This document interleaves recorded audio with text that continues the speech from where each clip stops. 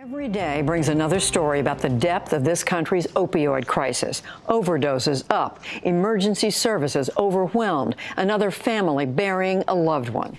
On behalf of the state of Ohio, my office filed a lawsuit against five of the largest drug manufacturers of brand name and generic opioids. The opioid epidemic is at the forefront of the national agenda and is in courtrooms across the country. This video will cover the old narrative on drug abuse, why not blame the drug addicts, who should we sue, applying tort law, and other solutions.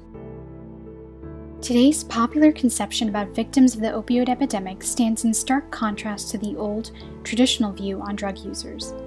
Drug addicts were traditionally seen as dispositionist actors, choosing to abuse drugs for their own pleasure. They were not balls being pushed by forces beyond their control, but rather sticks, intending their actions and their effects.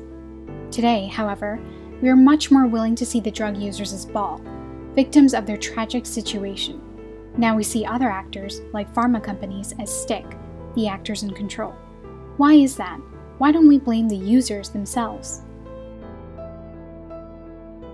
Every 19 minutes, we lose one life in this country to a prescription drug overdose. I am the face of addiction. I am the face. I am the face. I am the face. Who would blame these innocent kids or their families for the opioid crisis? There's no way they could have chosen to become addicted. Why do we feel this way? Jost and Banaji's theory of in group and out group dynamics explains that people are motivated to find reasons to excuse the bad actions of people similar to them. We empathize with such people as victims of their situations. Victims of the opioid crisis are largely working or middle class white families. People from the majority segment of society who look like, talk like, and have similar backgrounds to powerful people in the media, government, and society. Whereas the old narrative portrayed ethnic minorities, hippies, and lower class people as preferring and choosing drugs, now influential people in media and government portray opioid abusers as victims. As a result, Addicts have come within our scope of justice, people that we care about and want to protect. Several actors are connected to the opioid epidemic. However, who do we sue? The Food and Drug Administration approved the drugs that fueled the crisis, so they could bear some of the blame. There's one big reason why the FDA is not a good option for a lawsuit, however. The FDA, as part of the US government, enjoys sovereign immunity, so it simply can't be sued. The Attorney General might also consider suing doctors. The overprescription of opioids has certainly played a significant role in the epidemic, and so doctors could be blamed. However, doctors may claim that they were misled about how dangerous opioids are, and suing thousands of doctors with millions of different patients would be impractical. Many drug distributors who fail to report suspicious orders as required by law have already been the targets of some lawsuits. However, because they're middlemen moving products from the manufacturer to the local pharmacy, it may be difficult to attribute much responsibility. That leaves us with the drug manufacturers. There's a familiar trope in culture and politics that big pharma is bad. They charge exorbitant prices, and sometimes they're proud of that fact. They spend billions of dollars to corrupt our politicians and capture our regulatory agencies. They care about profits, not patients. We heard this story last year from politicians on both sides. Uh, they're getting away with murder. Uh, pharma, pharma has a lot of lobbies, a lot of lobbyists, and a lot of power. And the industry spent something like $250 million last year in lobbying and campaign contributions. These guys get away with murder, and it's time we stop them. We see addicts as victims of forces outside of their control, and they have come within our scope of justice. Coupled with the fact that we already view Big Pharma as a villain, it all adds up to a collective sense of outrage and blame. We've reached our outrage bliss point, a point driven home by the comedic master of outrage, John Oliver. And it is hard not to be angry at the drug companies like Purdue, whose promise of cheap, quick, easy pain solutions helped put us in this mess. Now that we know who to blame, let's take a look at whether a tort lawsuit can help. There are four elements of a negligence like tort duty, breach, causation, and damages. Pharma companies would breach the duty they have to consumers if their products are dangerous and marketing is misleading. Ohio is arguing that pharma companies intentionally caused addiction.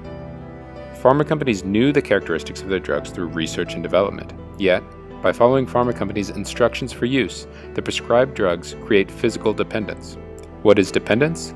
Dependence is a physical response to opioids in which a body's natural neurological system is hijacked and relies on opioids for normal bodily functions. Dependence leads to physical cravings that are the manifestation of addiction. Ohio is also arguing that pharma companies intentionally misled doctors and patients about the risks of opioids. Driven by profits, pharma companies ignored obvious evidence of their danger and told others to do the same. I would cite six, seven, maybe ten different avenues of thought or avenues of evidence, none of which represented real evidence. And because the primary goal was to destigmatize, we often left evidence behind. As one example, pharma companies peddled the now discredited concept of pseudoaddiction. Pseudoaddiction is when a patient is looking like a drug addict because they're pursuing pain relief. So pseudo-addiction is relief-seeking behavior mistaken as drug addiction. As a result of misinformation and dependence, Ohio is arguing that the patients are balls. The physical changes in their brain remove any choice about abusing prescriptions or heroin. Pharma companies will resist all of the above claims, but their best defense may be this. Doctors and patients were sticks that made their own choices to abuse drugs. Specifically, at some point, patients chose not to follow the prescriptions. Evidence exists for both narratives. The outcome of this case will come down to who the jury believes is stick and who is ball. If Ohio wins, a significant award of damages or an injunction would provide a strong incentive for a quick change in the business practices and advertising of opioids. This would shift the social costs of opioid addiction onto pharmaceutical companies, who have the knowledge and ability to develop safer opioid practices efficiently. However, torts will not solve everything. Addicts may not receive individual rewards and not in a timely manner. In addition, without safeguards, another addictive drug could spawn another epidemic. A comprehensive legal solution to the opioid epidemic likely goes well beyond tort law. It will likely take our full cathedral of legal institutions, torts, regulations, criminal law, and social welfare policies to protect ourselves from such injustices. In conclusion, the opioid epidemic is complicated and involves issues of morality, psychology, economics, and the law. It is a perfect case study for systemic justice. This lawsuit is about justice. It's about fairness. It's about what is right.